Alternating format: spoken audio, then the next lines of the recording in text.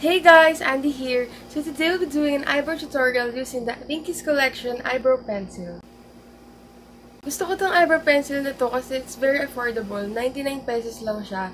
And it's very long lasting kasi throughout the day, kahit nag-oil up na ako or pinagpawisan na ako, hindi siya basta-basta matatanggal. Kailangan mo talagang gumamit ng makeup wipes or water para matanggal siya. And yung friend ko, si Ailinel, ito na rin kasi yung ginagamit niyang eyebrow pencil. And sabi niya, very long lasting nga daw talaga to.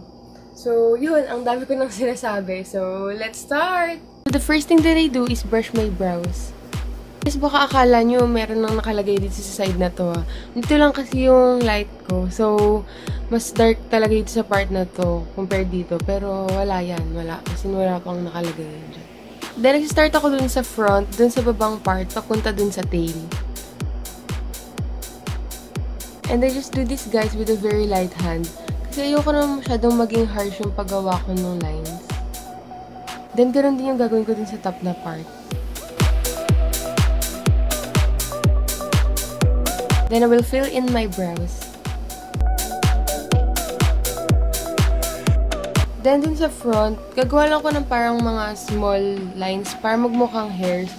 Ayoko kasi nung parang masyadong box, boxy tignan yung front ng eyebrows. Brush ko lang ulit yung brows ko.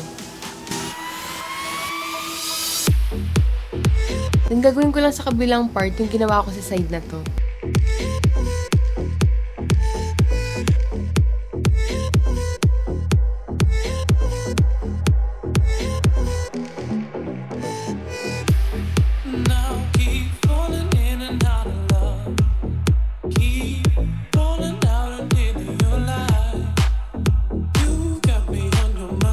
And we're done! So that's it guys. Sana may natutunan kayo doon. Please thumbs up this video if nagustuhan nyo. And comment down below what other videos you want me to do soon. Thank you guys! Bye! Hey guys! Andy here. So today I'll be sharing with you my what's in my makeup bag. So let's start!